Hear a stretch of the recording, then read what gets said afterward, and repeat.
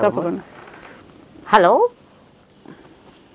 Hello నమస్తే అండి. నేను మీనాక్షి గిరిధారి మాట్లాడుతున్నాను. మీనాక్షి గిరిధర్ గారు ఎక్కడి నుంచి కాల్ చేస్తున్నారండి? నేను హిమాయత్ నగర్ నుంచి కాల్ చేస్తున్నాను. ఓకే హిమాయత్ నగర్ నుంచి. గీతామూర్తి గారితో మాట్లాడుతున్నారా. మాట్లాడతారా? గీతామూర్తి గారితో మాట్లాడాలి. ఓకే అమ్మా మాట్లాడండి. మీనాక్షి గారు నమస్తే. ఆ నమస్తే గీత గారు.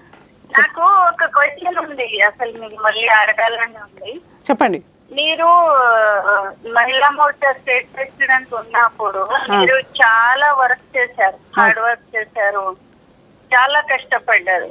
మరి నాకు ఒక డౌట్ ఉంది గీత గారు. చెప్పండి. నీకు అప్పుడు పార్టీ ఎమ్మెల్యే టికెట్ ఇవ్వలేదు. ఇప్పుడు ఎంపీ టికెట్ ఇవ్వలేదు.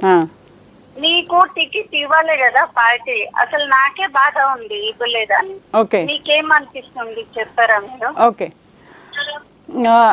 మీనాక్షి గారు రేజ్ చేసిన క్వశ్చన్ మంచి క్వశ్చనే పార్టీలో నిజంగా చూస్తే ఈసారి మోదీ గారు ఒక థర్టీ త్రీ పర్సెంట్ రిజర్వేషన్ బిల్లుని మనకు ప్రవేశపెట్టారు. కేంద్రంలో మహిళా రిజర్వేషన్ తరఫున ఇంతవరకు ఏ రాజకీయ పార్టీ?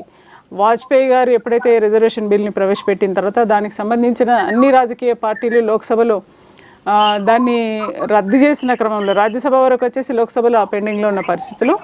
మోదీ గారు ఈ ముప్పై మూడు శాతం రిజర్వేషన్ శక్తివందన్ పేరుతో తీసుకొచ్చిన సందర్భంలో నిజంగానే వస్తుందని నేను కూడా ఆశపడ్డాను. కాకపోతే రాలేదు. నేనేమనుకుంటున్నానంటే దానికి ఇంకా టైం ఉందేమో. అటు ఆ టికెట్ రావడానికి టైం ఉందేమో. నేను ఎంపీకి ఎమ్మెల్యేకి సంబంధించిన టికెట్ ఆశించడం ఆశించాను. గతంలో కూడా నేను రెండు వేల తొమ్మిదిలో లోక్సత్తా పార్టీ నుంచి ఎమ్మెల్యేగా పోటీ చేశాను. రెండు వేల పద్నాలుగు వరకు కంటిన్యూ చేశాను. దాని తర్వాత నాకు అవకాశం రాలేదు.